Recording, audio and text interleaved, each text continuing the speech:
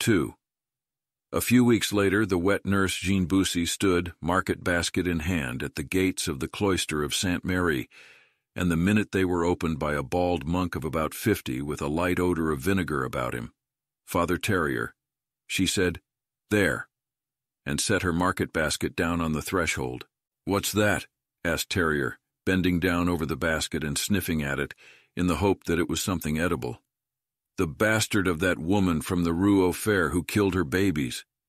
The monk poked about in the basket with his finger till he had exposed the face of the sleeping infant. He looks good, rosy pink and well nourished. Because he's stuffed himself on me, because he's pumped me dry down to the bones. But I've put a stop to that. Now you can feed him yourselves with goat's milk, with pap, with beet juice. He'll gobble up anything, that bastard will. Father Terrier was an easy-going man. Among his duties was the administration of the cloister's charities, the distribution of its monies to the poor and needy, and for that he expected a thank, you and that he not be bothered. Further, he despised technical details, because details meant difficulties, and difficulties meant ruffling his composure, and he simply would not put up with that.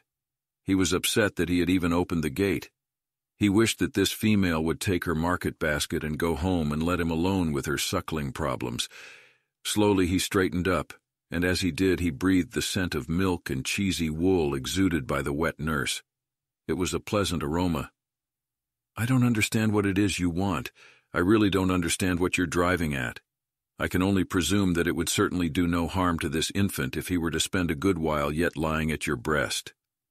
None to him, the wet nurse snarled back, but plenty to me. I've lost ten pounds and been eating like I was three women. And for what? For three francs a week. Ah, I understand, said Terrier, almost relieved. I catch your drift. Once again, it's a matter of money. No, said the wet nurse. Of course it is. It's always a matter of money. When there's a knock at this gate, it's a matter of money. Just once I'd like to open it and find someone standing there for whom it was a matter of something else. Someone, for instance, with some little show of thoughtfulness, fruit perhaps, or a few nuts. After all, in autumn there are lots of things someone could come by with. Flowers, maybe. Or if only someone would simply come and say a friendly word.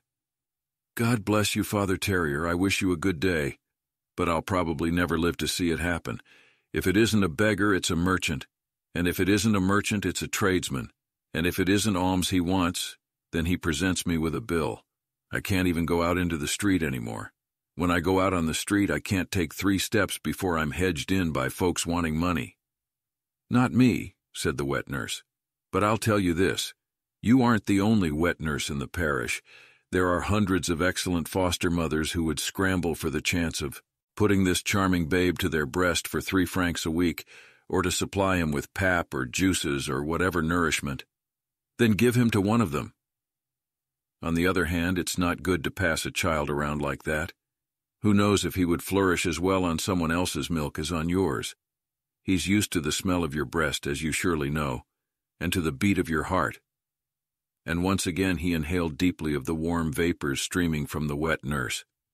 But then, noticing that his words had made no impression on her, he said, Now take the child home with you. I'll speak to the prior about all this. I shall suggest to him that in the future you be given four francs a week. No, said the wet nurse. All right, five. No. How much more do you want, then? Terrier shouted at her. Five francs is a pile of money for the menial task of feeding a baby. I don't want any money, period, said the wet nurse. I want this bastard out of my house.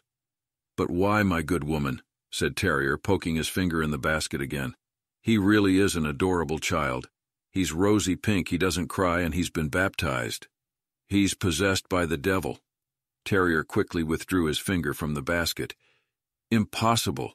It is absolutely impossible for an infant to be possessed by the devil. An infant is not yet a human being. It is a pre-human being and does not yet possess a fully developed soul, which is why it is of no interest to the devil. Can he talk already, perhaps?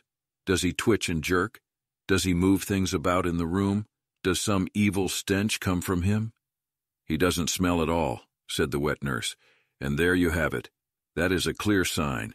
If he were possessed by the devil, then he would have to stink. and to soothe the wet nurse and to put his own courage to the test, Terrier lifted the basket and held it up to his nose. I smell absolutely nothing out of the ordinary, he said after he had sniffed for a while. Really nothing out of the ordinary, though it does appear as if there's an odor coming from his nappies. And he held out the basket to her so that she could confirm his opinion. That's not what I mean, said the wet nurse peevishly, shoving the basket away. I don't mean what's in the nappy. His soil smells, that's true enough, but it's the bastard himself. He doesn't smell. Because he's healthy, Terrier cried. Because he's healthy, that's why he doesn't smell. Only sick babies smell, everyone knows that. It's well known that a child with the pox smells like horse manure, and one with scarlet fever like old apples, and a consumptive child smells like onions. He is healthy, that's all that's wrong with him. Do you think he should stink?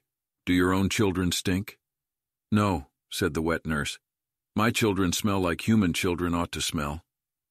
Terrier carefully placed the basket back on the ground, for he could sense rising within him the first waves of his anger at this obstinate female. It was possible that he would need to move both arms more freely as the debate progressed, and he didn't want the infant to be harmed in the process. But for the present, he knotted his hands behind his back, shoved his tapering belly toward the wet nurse, and asked sharply, You maintain, then, that you know how a human child, which may I remind you once it is baptized is also a child of God, is supposed to smell? Yes, said the wet nurse, and you further maintain that if it does not smell the way you, you, the wet nurse Jeanne Bussie from the Rue Saint Denis, think it ought to smell, it is therefore a child of the devil? He swung his left hand out from behind his back and menacingly held the question mark of his index finger in her face. The wet nurse thought it over. She was not happy that the conversation had all at once turned into a theological cross, examination, in which she could only be the loser. That's not what I meant to say, she answered evasively. You priests will have to decide whether all this has anything to do with the devil or not, Father Terrier. That's not for such as me to say. I only know one thing. This baby makes my flesh creep because it doesn't smell the way children ought to smell. Aha, said Terrier with satisfaction, letting his arm swing away again. You retract all that about the devil, do you? Good, but now be so kind as to tell me. What does a baby smell like when he smells the way you think he ought to smell? Well? He smells good, said the wet nurse. What do you mean, good? Terrier bellowed at her. Lots of things smell good. A bouquet of lavender smells good. Stew meat smells good. The gardens of Arabia smell good.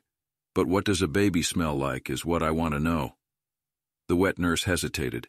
She knew very well how babies smell. She knew precisely. After all, she had fed, tended, cradled, and kissed dozens of them. She could find them at night with her nose. Why, right at that moment she bore that baby smell clearly in her nose. But never until now had she described it in words. Well, barked Terrier, clicking his fingernails impatiently. Well, it's, the wet nurse began. It's not all that easy to say because, because they don't smell the same all over, although they smell good ale over, father, you know what I mean? Their feet, for instance, they smell like a smooth, warm stone, or no, more like curds, or like butter, like fresh butter, that's it exactly. They smell like fresh butter, and their bodies smell like, like a griddle cake that's been soaked in milk, and their heads up on top at the back of the head, where the hair makes a cowlick. There, see where I mean, father, there where you've got nothing left. And she tapped the bald spot on the head of the monk, who, struck speechless for a moment by this flood of detailed inanity, had obediently bent his head down. There, right there, is where they smell best of all. It smells like caramel. It smells so sweet, so wonderful, Father. You have no idea. Once you've smelled them there, you love them whether they're your own or somebody else's. And that's how little children have to smell, and no other way. And if they don't smell like that, if they don't have any smell at all up there, even less than cold air does, like that little bastard there then. You can explain it however you like, father, but I... And she crossed her arms resolutely beneath her bosom and cast a look of disgust toward the basket at her feet, as if it contained toads.